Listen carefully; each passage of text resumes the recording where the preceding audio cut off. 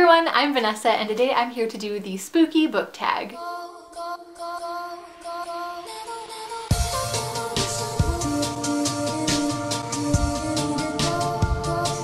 This tag was created by Madi from The Book Pusher like years ago, back in 2016, but I was excited to realize that I have not done it yet. I will leave Madi's original video linked down below in case you want to check it out. And other than that, I'm gonna go ahead and get started on these spooky questions. The first question is Corn Maze. What book had you confused from the very beginning? Listen, I had no idea what was like going on. This is a sci-fi dystopian bio biopunk, I guess, situation. And I think a lot of my problem had to do with the fact that I was reading this for school and my English teacher only gave us like four days to freaking read it. I'm sorry, but like four days, I'm skimming this and I'm not getting it. The second question is Haunted House, and that is a book with the creepiest setting. And for me personally, based on like my own personal what creeps me out, I think the creepiest setting I've encountered in a book was probably uh, Station 11 by Emily St. John Mandel. And I know that this is not meant to be like a horror novel. This isn't supposed to be a scary book. It's like a touching literary story about the arts and what makes life worth living. But it's an apocalypse setting where like after a pandemic society's gone. cannot deal with like the apocalyptic, you know, there's no more society, no more civilization, there's nowhere to go for safety, no one you can call, no one you can depend on. That's also why another one that has a really creepy setting to me is Bird Box by Josh Malerman. No, I can't do it. The third question is ghost boyfriend. Who is your eternal fictional boyfriend? And I know for me personally, I've been kind of over the concept of book boyfriends for a while now, and I think a lot of other people are too. But let me tell you who I am keeping, and no one can come at me for this because he is a grown-ass man who has been my eternal video game boyfriend for over a decade now, and that is Cullen Rutherford from Dragon Age. I played Dragon Age for the first time when I was like 18 and in the first game he's like some nobody side character. He has like five lines. When you play a mage origin story like you have to pass this test to prove that you're a good enough mage or whatever and if you don't pass it you get beheaded by a Templar because you're dangerous. The like little side story in this or again it only lasts for like two minutes and it's not even a big part of the game but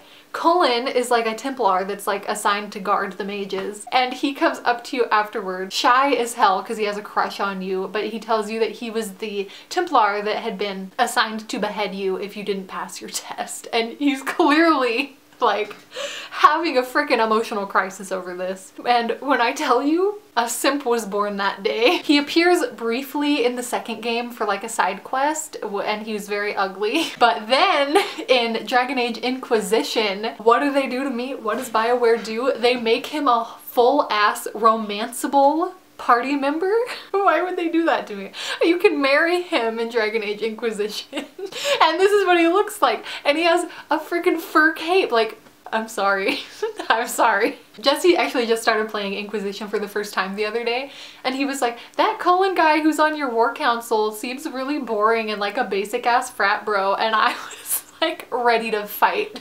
Anyways, um, question number four is caramel suckers, which are the best Halloween candy. So of course the question is, what is the best dang Halloween book? This is a very hard question for me because there are so many different things that would make something the best Halloween book. Like I didn't know what route I wanted to go, but I think I'm gonna go with the books that I've read around Halloween that left the most like impression on me as just being like really fun, really festive. You know, that's like what Halloween is about to me. It's about being spooky and fun. So Born Wicked by Jessica Spotswood. This is so good. It's like about witches and feminism and it's set in like this really cool kind of historical fiction setting but almost like an alternative history where the time periods are like it's very Puritan Salem witch trials but it's set in like I want to say the 1800s like they have trains and stuff. So I don't know it's just really really cool. And another one that I just fell head over heels in love with and has always stuck with me is The Name of the Star by Maureen Johnson. This whole series it's so good. It's about this American girl who ends up going to a boarding school in London I didn't need any more than that to be honest. But while she's there, she has a near-death experience and then she can see ghosts and like talk to ghosts and stuff. And she ends up hooking up with this like ghost hunter crew who are like the FBI but they hunt ghosts and it's just like, man, it's just so fun. Like I wish I was reading this book right now. Question number five is vampires in everything. What is your least favorite Halloween trope? I think for me it's like gore and like just stabby like slasher stuff. I'm not super into that. But question number five is pumpkin in everything and that is your favorite Halloween trope. And for me it's the supernatural. Anything that's like kind of magical or kind of ghosty and mysterious, things like that. I really love gothic vibes too. Anything that's like, oh, a foggy old gray mansion where no one lives or there's like a creepy groundskeeper, like that kind of stuff really, yeah, that's what I'm here for during the Halloween. Question number six is evil incarnate, the most evil villain. I couldn't pick. Honestly, villains never really, this is blasphemy I think on booktube, but I'm not like a person that is impressed upon by the villain. Like usually after I read a book, I only have like a very vague memory of who the villain was and what their whole deal was.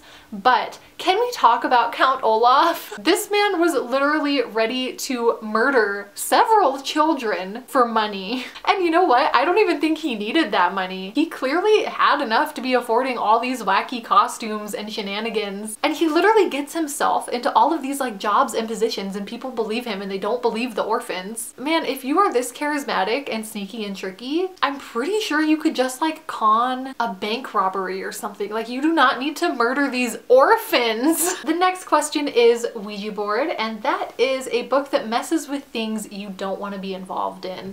Um, my best friend's exorcism for me. Demonic possession Mm -mm. Those are like the scary movies that really messed me up the most as a teenager. And even to this day, I am like really cautious before I watch a possession movie because it's just something that is so scary to me and I just don't want to be like involved in this situation. Like paranormal activity, when it was just a ghost haunting their house, I was like, hell yeah, this is fun. But then the moment they were like, never mind, it's a demon trying to possess you. Mm Mm -mm. The next question is full moon. What character do you turn into on the full moon? And for me, the full moon, I usually get like just an abundance of excess weird energy. So I'm gonna say Mina Harker from Dracula because she is just a boss ass bitch. She's getting shit done. She's organizing everyone's entire life. She's just really out here being like the most productive Virgo that I have ever seen in my life. And as a Virgo moon, I think that on a full moon, I would be her. The next question is All Hallows Eve, the other world and this world have meshed for one night. What book world would you love to be swept up in? I don't have an answer to this question because I missed it when I was writing them down, so this is this is off the dome here. A Sorcery of Thorns. Yes, a magical Victorian setting where libraries are like magical and the highest freaking thing in the land and um, there's sorcerers and people can just be bisexual and it's totally fine. And librarians get to carry swords. The next question is Voodoo Doll. What author would you love to take control of and make them write anything you want? I love this question this year, Madi, because you know I'm gonna possess J.K. Rowling and make her write like a letter of resignation of some kind where she just signs over all of her money and all of her rights and all of her involvement with the Harry Potter franchise to someone who's not a giant piece of human garbage. The next question is Black Cat. What red flags do you look for when first starting out a book.